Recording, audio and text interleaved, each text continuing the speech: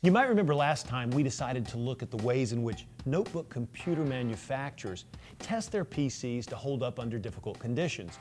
After all, the greatest speeds and feeds in the world won't matter if your system fails. So I thought it would be interesting to take a look at how they test these notebooks to hold up even under the most difficult of conditions. Now this notebook is HP's most powerful, versatile mobile workstation. The EliteBook 8560W is a super mobile machine, but it's also built to very tough military standards for durability. I like the workstation caliber graphics, which easily lets you run programs like Photoshop and AutoCAD, and the 15.6 diagonal screen.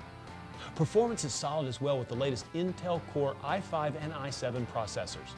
Now I mentioned military standards regarding the tests that these notebook computers must conform to. These tests are pretty incredible.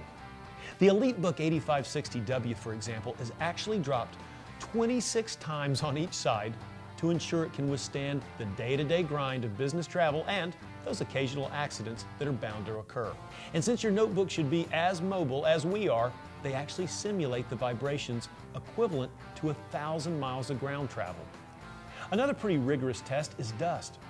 Given the multitude of environments we might encounter from a dusty manufacturing facility to a construction job site, HP blasts dust at their notebooks for six straight hours to make sure both internal and external components won't fail.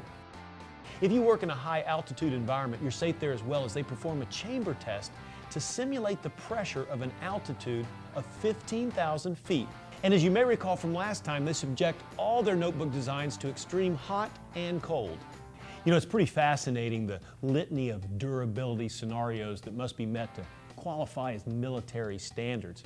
Now, while some of this protection may seem extreme for your work situations, it helps ensure that we're all protected from the most dreaded of work environment hassles, downtime.